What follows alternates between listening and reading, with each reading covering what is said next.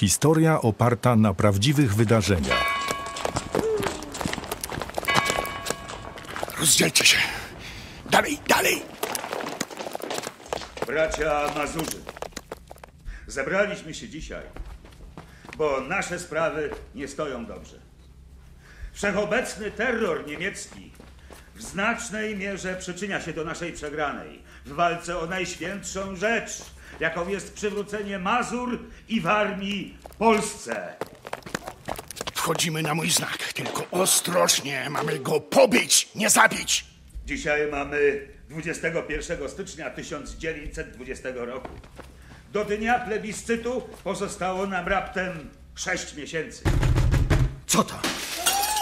Panowie, ja protestuję! Mazoch, który z nich to Gottlieb Linke? Jesteś pewien? To ten! To ten pies, który był w Paryżu, łapcie go!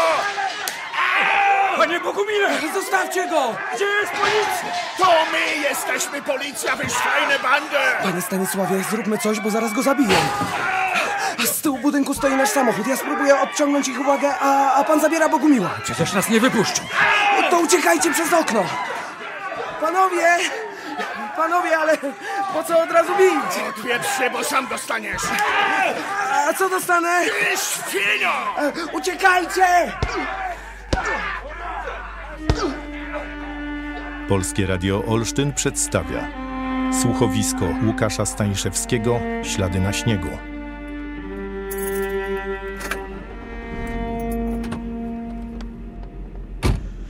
Mocno oberwałeś?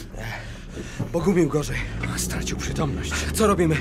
W Szczytnie to nie mamy czego szukać. No to co? Zawieźmy linkę do domu do Wawrocha. Cholera. Pan Bogumił strasznie krwawi. Widziałem, jak wbili w niego drewniany trzonek od łopaty. Niemieckie bojówki, których podobno tu nie ma. Emil, Tak? stoją na drodze. Muszę się zatrzymać. Skręcaj pan. Co? Skręcaj pan, bo nas złapią. Ale gdzie? No po chodniku. Jedź pan do cholery! Na miły Bóg.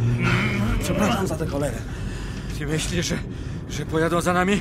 Świateł nie widać. A nie! Są! Gazu! Zabijemy się. Chce pan trafić w ich ręce?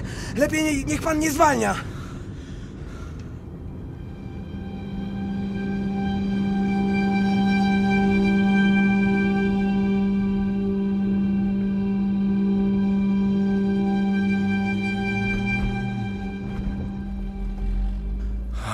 Rozwalimy samochód na tych wertepach.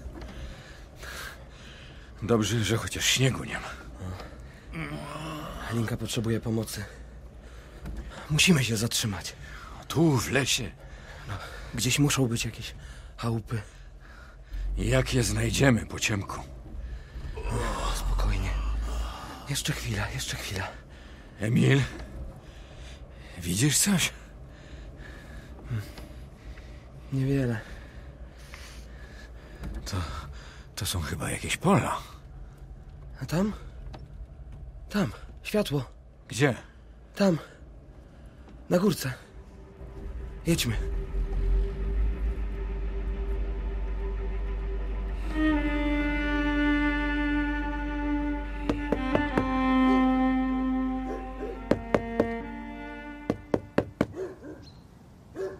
Czego tam? Dobry wieczór. Y, Potrzebujemy pomocy. O tej porze Mamy rannego. Czy może pan nam dać trochę wody? ja nie rozumiem. Co wy chcecie? Wieziemy rannego, on umiera! A to, to Polakiem. Wiecie stąd. I do mnie mówić po niemiecku, to jest porządny dom. Ale przecież chodzimy do tego samego kościoła. Ale wy modlicie się po polsku. Ja jestem bardzo ciekawy, o co wy się modlicie po polsku. Tato, wypuścić psy! Modlimy się o to samo co pan. I do tego samego Boga. A skąd ja mam to wiedzieć? Ja słyszałem, wam się tutaj Polska marzy. Chcecie, żeby katolicy zamknęli nasze kościoły? Nikt nie chce zamykać kościołów! Ale proszę, potrzebujemy pomocy. Puszczać psy, tato! Wódki mogę wam dać.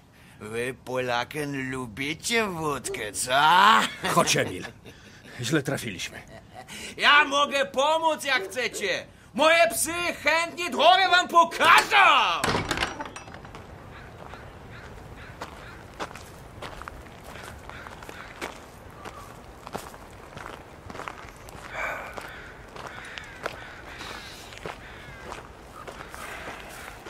Przepraszam panowie. Oj, Boże, jedyny. Kto tam? Nazywam się Pasternak. Miejscowy. Co pan ludzi po nocy straszy? Panowie poszli do niemieckiego gospodarza. I po co? Potrzebujemy pomocy, mamy rannego. To wiem. Ale po co akurat do tego gbura? Tylko tu się światło paliło. Co mieliśmy robić? On wam nie pomoże. Jeszcze ludzi na was naśle.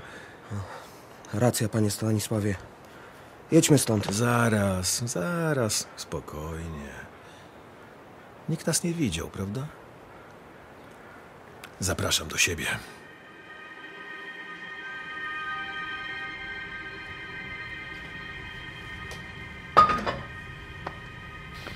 Strasznie pobity. Jemu potrzebny jest lekarz, ja tu niewiele mogę pomóc. I tak jesteśmy panu bardzo wdzięczni. Daleko jeszcze macie? Śnieżyca idzie. Jeszcze parę kilometrów do Wawroch. To może coś na rozgrzewkę. A chętnie. Ja też poproszę. Szkoda człowieka. I co? Warto tak? Pan się domyśla, kim jesteśmy? Byłem kiedyś na waszym spotkaniu. No chyba na naszym. Naszym. Pan z Warszawy, prawda? Z Warszawy. I co pan tu robi? Widzi pan, co robię. Ja panu coś powiem. Na tym łóżku leży Bogumił Linka. To pan go zna? On, jak sądzę, został pobity przez Niemców. Bo dla nich to on jest zdrajca. On nawet nie jest Bogumił, tylko Gottlieb. A dlaczego on jest zdrajca? Bo jemu się zamarzyło jeździć po Europie i opowiadać, że Mazury są polskie i powinny należeć do Polski. Tylko, że on pojechał tam za późno. Bez niego postanowiono, że będziemy głosować, czy my są Polacy, czy Niemcy. To ja się panów pytam. Po co Linka tam jeździł? Walczył o sprawę. Co miał według pana zrobić? Niemcy mu nie darują. Będą go tak długo bić, aż go zabiją. I jego rodzinie też nie wybaczą. Wszystkich wykończą. Niech pan nie przesadza. Regina, nie idź tam, proszę cię. Obudził się. Ma gorączkę. Regina to jego żona. Zmienię mu opatrunki. A pan weźmie ciepłej wody. Dziękuję. Znaliśmy się z Linką. Ale nie za dobrze. Nigdy nie mogłem zrozumieć, o co mu chodzi. Ale może wy tam wiecie lepiej. Może wygracie te swoje głosowanie. Pan ciągle powtarza wy. Pan nie czuje się Polakiem? Jestem, proszę pana, Mazurem, ewangelikiem, który modli się po polsku, jak cała moja rodzina. Ten gbur, u którego byliście, też jest Mazurem. I tak jak ja, jest ewangelikiem. Tylko, że on modli się po niemiecku. Ale jaka to różnica? Tu większość ludzi mówi po polsku. I na pewno wszyscy będą głosować za Polską. Wojska niemieckie stoją na granicy. Na wsiach i w miastach biją ludzi. Gospodarze nie dostają kredytów. Ich dzieci nie mają tu przyszłości. Ale czemu nie? Będziemy głosować za Polską. Niech się pan nie śmieje. Jeśli przegramy, Polacy nie będą mieli tu życia. A może tu nie ma Polaków? Coś tam chodzi po łące, widzisz? Wisi na gałęzi w lesie. Boże, co to? Spokojnie, Bogumił, spokojnie. Chodźmy spać. A jeszcze jedno pytanie, jeśli można. Proszę. Gdzie według pana rosną drzewa? No, jak to gdzie? W lesie. A ten las to jest polski czy niemiecki? To zależy. Nie, proszę pana. Nie ma polskiego ani niemieckiego lasu. Przynajmniej dla drzewa. Ono będzie rosło tak samo. No chyba, że pewnego dnia przyjdzie Niemiec albo Polak i postanowi je ściąć. Ja przepraszam, że tak mówię. Nie, nie, niech pan nie przeprasza. Ale jeśli można, chcielibyśmy się już położyć. A proszę bardzo. Niestety mam dla panów tylko jedno łóżko. Nie, nam to nie przeszkadza. Odpoczywajcie. Idzie duży śnieg.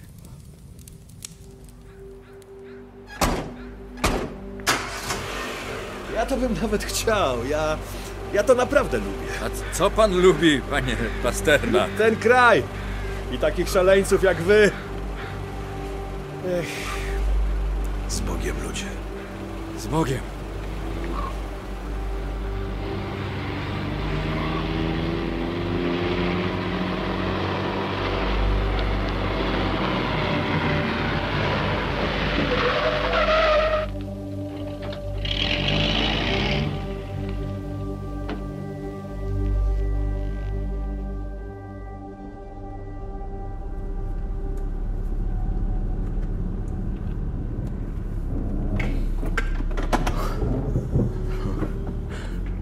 Pan? Pasternak miał rację. Zaczyna padać. Już blisko. Zdążymy. Budził się. Bogumił, wiesz gdzie jesteś? Emil, przykryj go czymś. Ale jest przykryty, to nie to. O, na szczęście już dojeżdżamy. Zobacz. To szlak. Czekają na nas. Skąd wiedzieli? Gbur doniósł. A może Pasternak? Tylko on wiedział, dokąd jedziemy. Niech się pan nie zatrzymuje. Trzeba ich minąć. Ta kobieta zauważyła nas. Regina! To pana żona? To co ona robi? No, no, no niech nie macha do nas ręką na miłość boską. Zdradzi nas. Panie Stanisławie, gazu. Bo się zaraz domyślą. Linka jest przytomny. Rozpoznał żonę? Nie wiem, ale wydaje mi się, że na nią spojrzał. Regina! Wróci pan do domu, obiecuję. Co teraz? Najpierw wyjedźmy z, Wawroch. Ile mamy benzyny? Na trochę jeszcze starczy. Wie pan co? Mam rodzinę w Olsztynie. W domu wszystko dobrze. Dobrze, dobrze, dobrze. Pomogą? Jeden, jeden mój znajomy pracuje w szpitalu. Ktoś na pewno nam pomoże.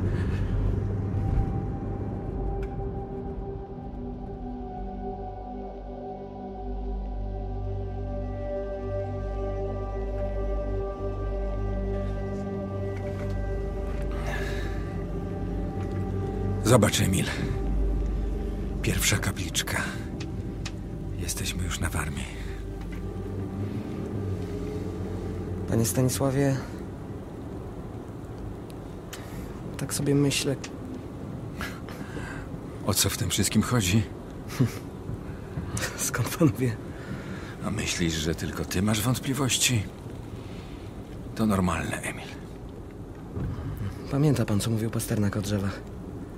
Ludzie chcą tu po prostu żyć, ani po polsku, ani po niemiecku. Jeśli nie potrafimy przekonać takich jak on, no to ko- kogo przekonamy?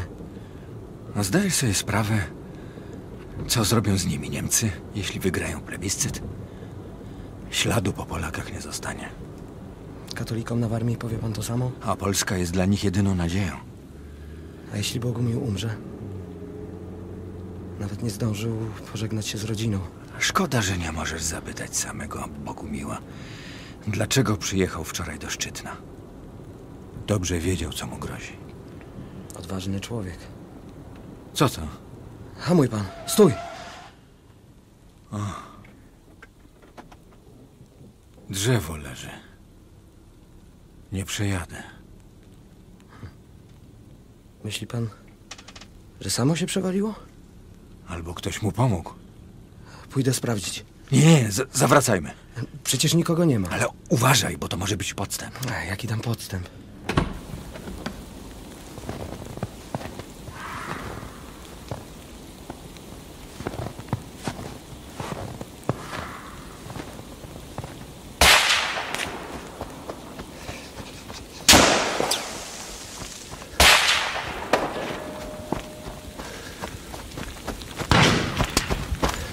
Zawracaj pan, szybko! A ty?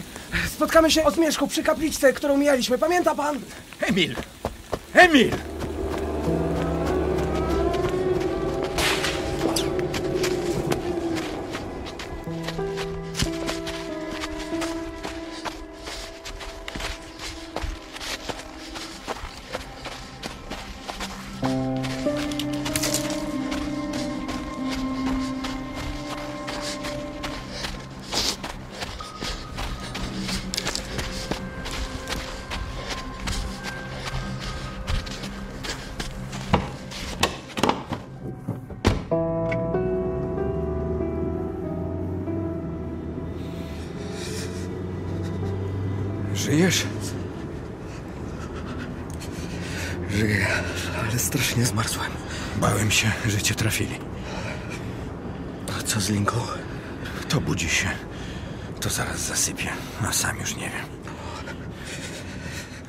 Na szosie nie mamy szans.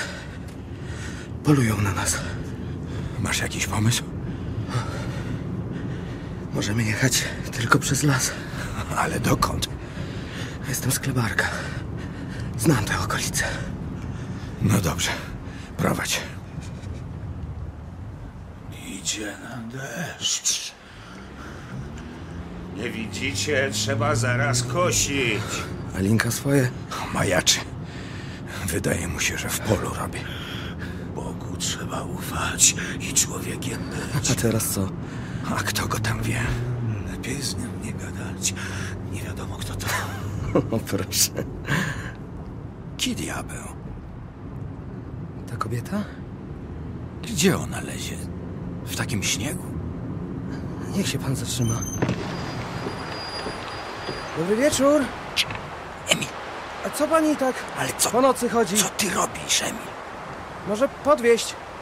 A wy z Bogiem jeździcie? Z Bogiem.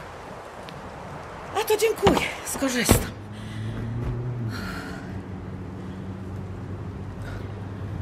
A dokąd pani jedzie? A wy? Rannego wieziemy do szpitala. A co mu się stało? Napadli na niego.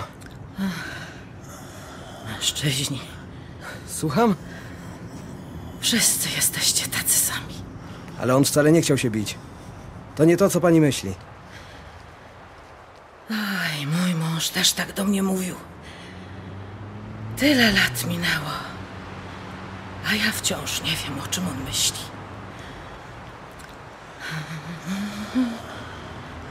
Przepraszam, jeśli można. A gdzie obecnie znajduje się pani małżonek? Aj, na wojnie, proszę pana. W kraju? On też nie chciał się bić. A na wojnę poszedł. Mówił, że dali mu wybór: albo mundur, albo kula w łeb. To kiedy to było? W czternastym. W czternastym? Prosiłam go. Prosiłam go, nie idź. Byliśmy tylko pół roku po ślubie. Dzieci chciałam mieć. Zaciągnęli go do pruskiego wojska. Ja się modliłam. Ja błagałam, Boże Wszechmogący, ocal mojego męża. Ale przecież ta wojna już się skończyła. Pisać przestał. Ze wstydu pewnie.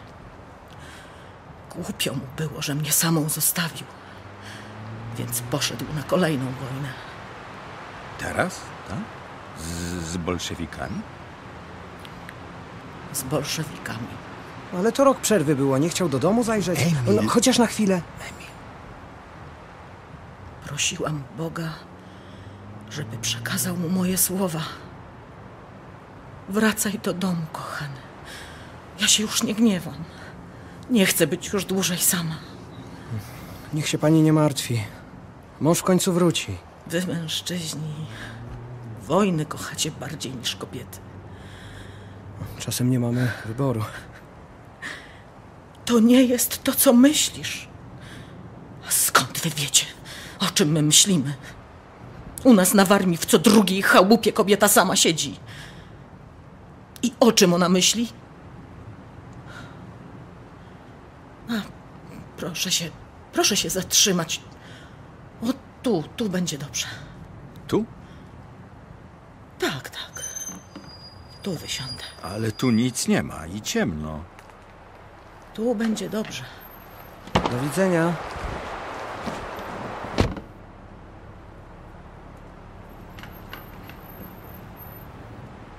Głupio tak. W środku lasu. O, zimno jak cholera. Zawołaj ją, jeszcze coś się jej stanie.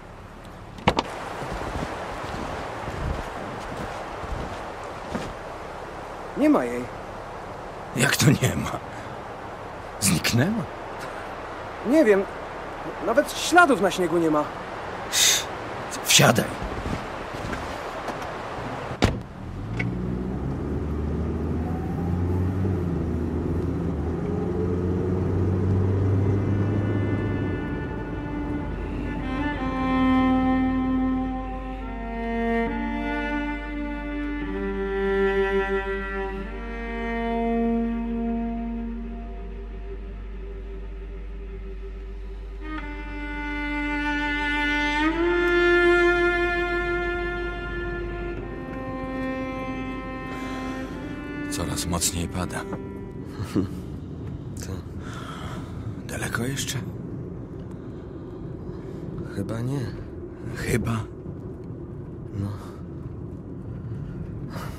Dobra, nie wiem. Zgubiliśmy się. No przecież podobno znasz tu każdą drogę. Ale w zadymce po ciemku wszystko wygląda tak samo. Nawet nie mamy dokąd zawrócić. Coś musi się znaleźć. A widziałeś ostatnio jakieś światła? W środku lasu? Chyba, że... A tak, coś tam się świeci. Ale to nie chałupa. Niech się pan zatrzyma.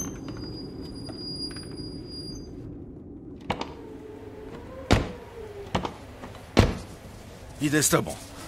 Linka i tak jest nieprzytomna. To nie chałupa. A, a co to może być? Wygląda na cmentarz. I ktoś tu przychodzi palić świeczki w taką noc? A widzi pan?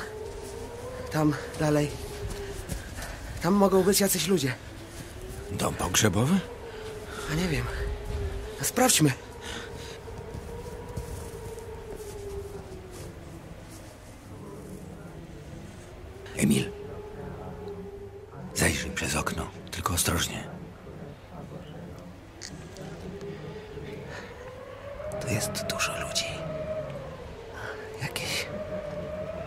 Zebranie? Nie, już wiem. Niech pan sam spojrzy. Zobaczą nas. Nie, za bardzo się modlą. To gromadkarze. Nie mogą w kościele modlić się po swojemu. To przychodzą tutaj. Piękne, prawda? To ma być piękne, że nie chcą ich we własnym kościele. Ale nie mają wyboru. Do Pana Boga tylko po polsku. Oni nie chcą się modlić po niemiecku, bo to nie jest dla nich język do modlenia. Ja ci powiem więcej. Język polski jest dla nich jak Bóg. Gdyby go odrzucili, odrzuciliby Boga. Ciszej, bo nas zobaczą. Kto tam? Czego tu chcecie?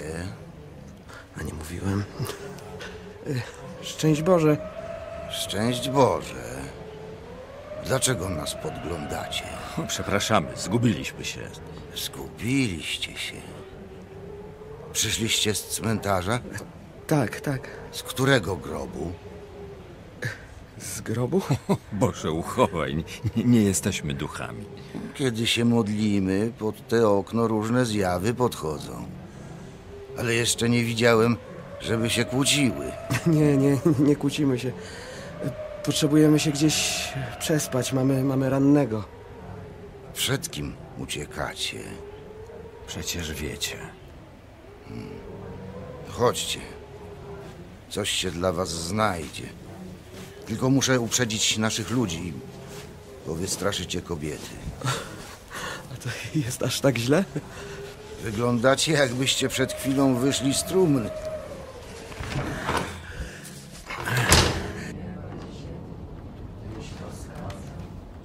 Bonjour. Je suis un Mazuri.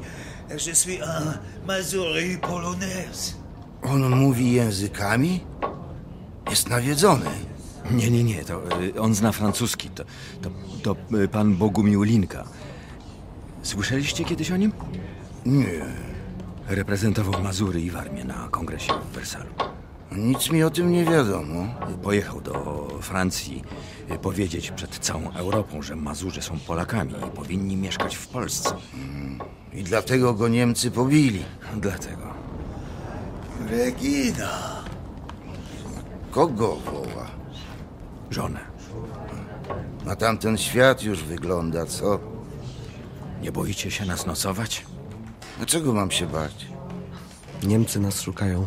A kogo oni nie szukają? Prawda? Oni tak kochają porządek, że nawet modlić się trzeba u nich porządnie. Porządnie. Po niemiecku. Dużo się waszych ludzi przez to nacierpiało?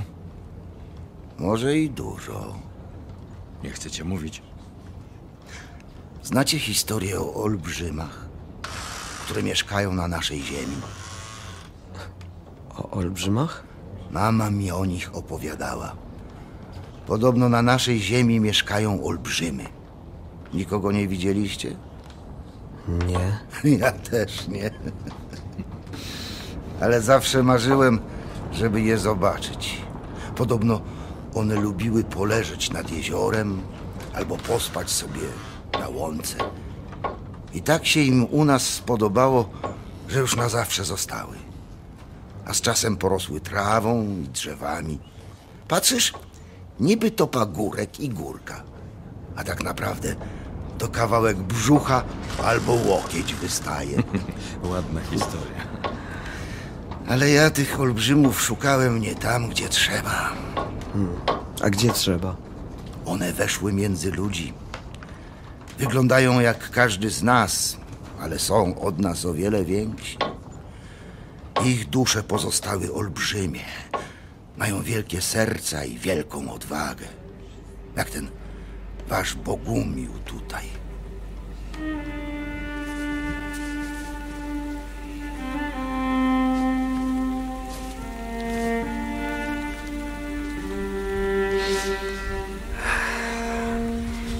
To naprawdę wasz samochód? A, trochę go przysypało w nocy. Aha, A wy wciąż myślicie, że z duchami gadacie? pewności nie mam. Duchy nie jeżdżą samochodem. Dziękujemy za wszystko. Z Bogiem. Z Bogiem.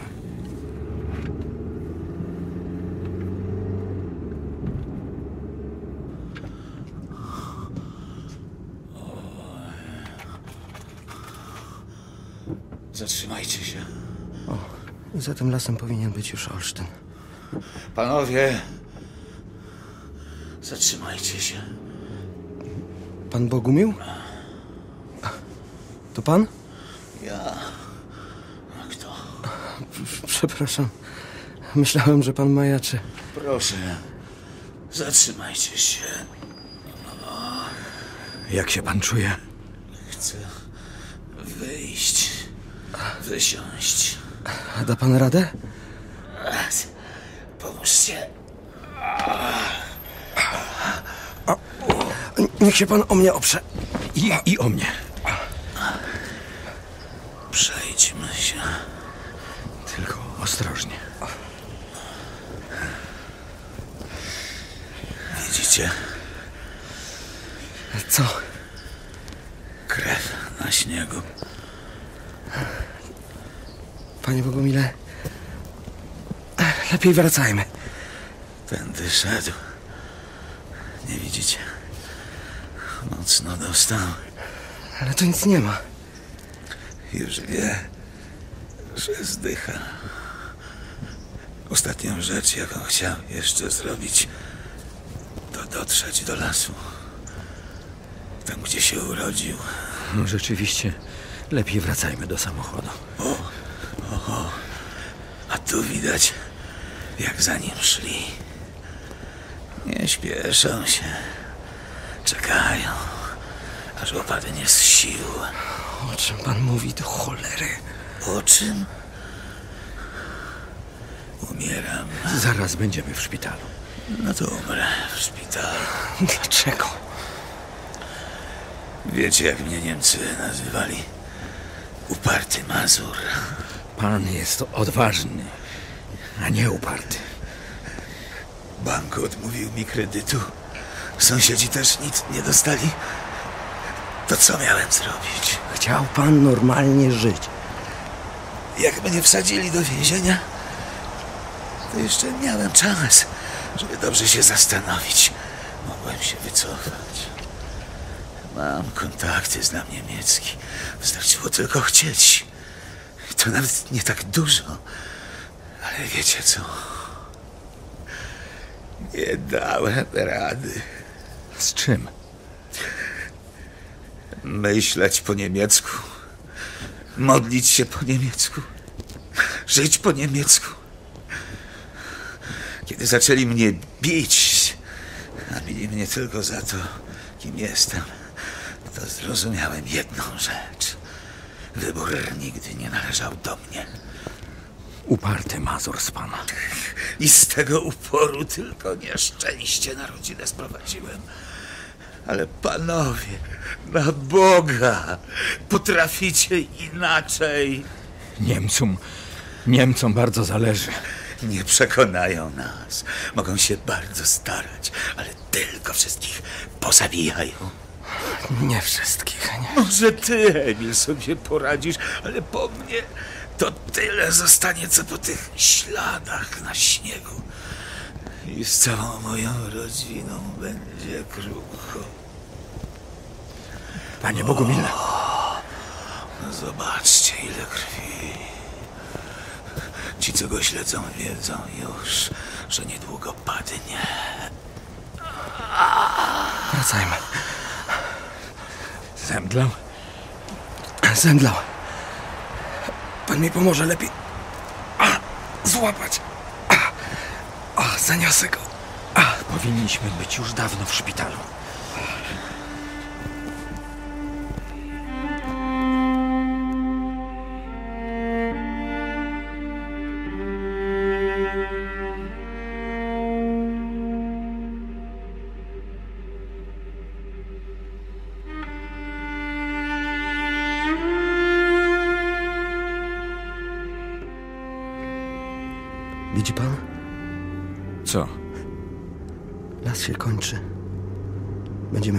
Końcu wyjechać na szosę. No to niemożliwe. Złapią nas. Dalej lasem nie mamy już dokąd jechać.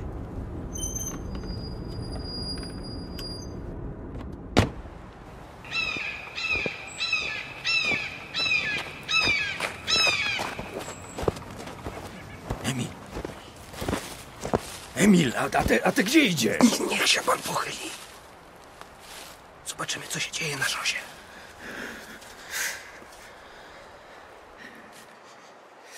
Ty widzisz coś? Nic. Chcesz wyjechać prosto na Niemców? To tylko dwa kilometry. Może się uda. A jak się nie uda? Trudno. Trudno? Tak po prostu? Bogumił musi dostać się do szpitala. Cisz. Słyszysz? Niech pan nie wstaje, co pan? Niemcy? Bojówki. I to cała kompania. No ty patrz. Ile mają broni?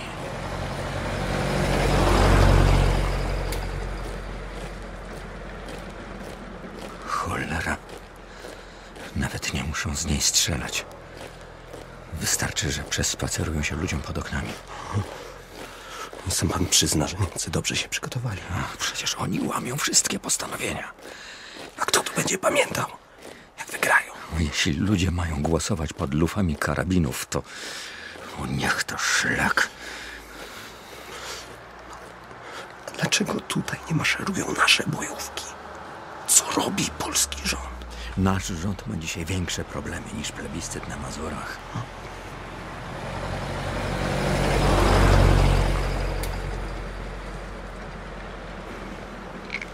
Od początku było źle. Tego nie ma, tamtego się nie da. A Niemcy proszę. Radio, wojsko. Fundusze na co tylko trzeba. Jak my z nimi mamy to wygrać? Emil, zrozum. Dzisiaj walczymy na wielu frontach. Zobacz. Wojna z bolszewikami. Plebiscyt na Śląsku. No jak ty to sobie wyobrażasz? I nas można poświęcić, tak? Linka umiera w samochodzie, a Niemcy maszerują dalej. Jesteśmy tak. Jesteśmy tak cholernie sami.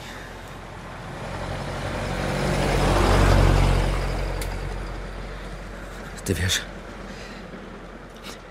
Wiesz, co mnie najbardziej zaskoczyło, gdy przyjechałem tu pierwszy raz? Hm? Ciemność. Ciemność? Taki rodzaj mroku, który tu panuje. Nawet kiedy świeci słońce. Nigdy nie widziałem tu żadnego mroku. No bo tu się urodziłeś. I nie obraź się. Ale masz go w sobie. To znaczy? Nie wiem, jak to wyjaśnić. Może to przez te lasy i jeziora. Jakby natura zawładnęła ludźmi. I pan tego nie lubi? A wręcz przeciwnie. Coraz bardziej mi się tu podoba. Ale nigdy nie będę stąd. Stąd. A co to znaczy? Stąd. Tu człowiek nigdy nie jest sam. Nawet jak chodziłem daleko w las, to zawsze miałem wrażenie, że ktoś mnie obserwuje. Kątem oka widziałem różne postacie, ale jak odwracałem głowę, to znikały. Gromadkarz o tym wspominał, pamiętasz? O tych, którzy podchodzą do okna. Ach, chyba wiem, o czym on mówił. To tylko takie. takie bajki o duchach. Ja tam nie wiem, kto chodzi za nami po lesie, kto zagląda ludziom w okna. Pewnie to dusze ludzi, którzy mieszkali tu przed nami. I wiesz co? Ja w końcu zrozumiałem, że my za wszelką cenę musimy je chronić. Nie możemy sobie pozwolić, żeby ktoś nam te dusze odebrał, żebyśmy stracili z nimi kontakt. Niemcy mogą do nas strzelać. Najwyżej dołączymy do duchów chodzących po lesie. Myślę, że Linka by się ze mną zgodził. I pan w to wierzy? A ty nie? Las to las. Ale coś się panu wydaje. Może to bajki. Ale jak tutaj zapada noc, to jakby, jakby ktoś malował ją czarną farbą. Nie masz pojęcia, o czym mówię, co? No szczerze mówiąc, to nie mam. Ale nie przeszkadza ci, że musimy wyjechać na tę drogę. Nawet jeśli za zakrętem napotkamy Niemców. Na to jesteś gotowy. Nie mamy wyboru. O właśnie. Wy nigdy nie macie wyboru. No, trudno. Jedźmy. Jest pan gotowy? A co mam ci powiedzieć? Boże, ty mi dałeś ten dzień, który ma się ku końcowi.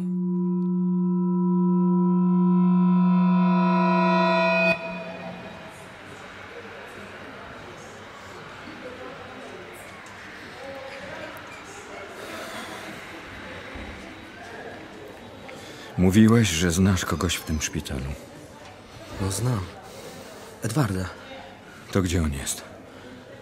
Linka ledwo żyje. Nie wiem. Może go zwolnili, teraz wszystkich zwalniają. I nikt do nas nie wyjdzie? Podobno wszyscy lekarze są zajęci. To co robimy? Czekamy. Wy jesteście od Edwarda? My. To ten chory? Co mu jest? Nie wiedzie pan? On umiera. Na co? Pan żartuje? Pobili go. Może się przewrócił. Ślisko na dworze. Do cholery. Ile? Przepraszam, y, ja słabo rozumiem po polsku. Pytam, ile pan chce za pomoc? Ale przecież my mu pomożemy. Nie trzeba żadnych pieniędzy. No to mu w końcu pomóżcie. Łatwo nie będzie, bo y, to rzadka choroba. Skąd pan wie? Mm, On. y, y, On ma chorobę cudaków. Słucham? Wy się zarażacie czymś w dzieciństwie, a jako dorośli na to umieracie. Normalnych ludzi można wyleczyć, ale na takich cudaków nie ma rady.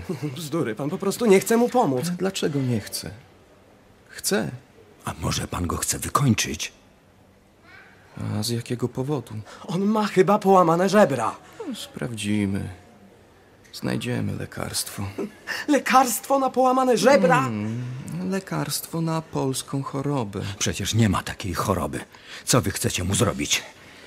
Nie wiem jak u was, ale my dbamy o swoich ludzi. Dostanie wszystko, czego trzeba. Na pewno? Idźcie już. Trzeba go położyć do łóżka. Jak mu się coś stanie, to cię znajdę. Co? Ja słabo rozumiem po polsku. Pamiętaj, znajdę cię!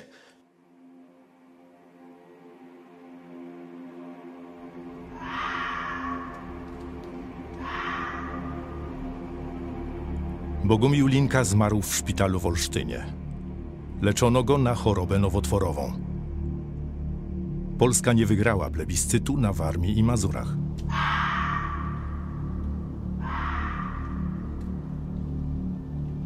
Reżyseria Cezary Ilczyna. Realizacja i produkcja dźwiękowa Ryszard Schmidt.